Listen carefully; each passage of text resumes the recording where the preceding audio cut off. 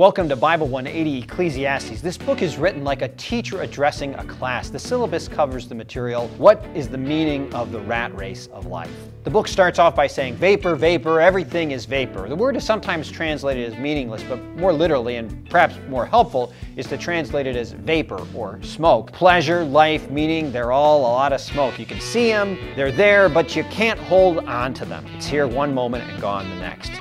As the book continues, the teacher goes about proving case by case that life is vapor. Wisdom is smoke itself because even when you gain it, you don't feel any better about life, and still you see no changes. Pleasure, too, is vapor. The teacher built wonderful houses and denied himself no pleasure, but he ended up depressed. He describes how wise and foolish alike perish.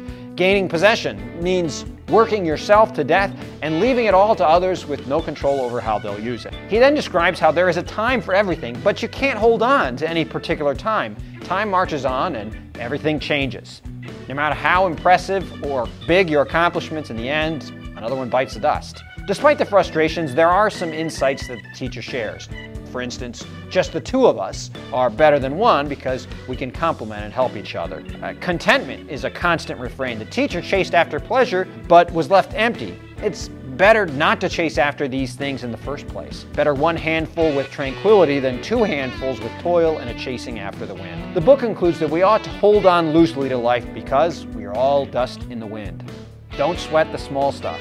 Enjoy life when it goes well because, well, it won't always go. The last chapter is command to remember your Creator while you are still young, before the light goes out from your eyes and your retirement account dries up and the door to your life shuts. Fear God, the book concludes, and keep His commandments. It's not our lot to figure out life, but rather to do what God has given us to do and to rely on Him. I repeat, it's not our job to figure out the meaning of life, but rather to be faithful and rely on Yahweh.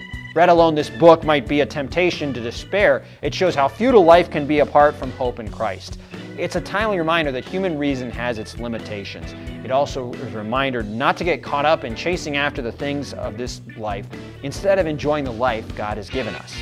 We can't find meaning or purpose on our own, so we have to hope in the Lord and wait for His judgment. Ecclesiastes teaches us to despair of ourselves or earthly wisdom for hope, permanence, or meaning.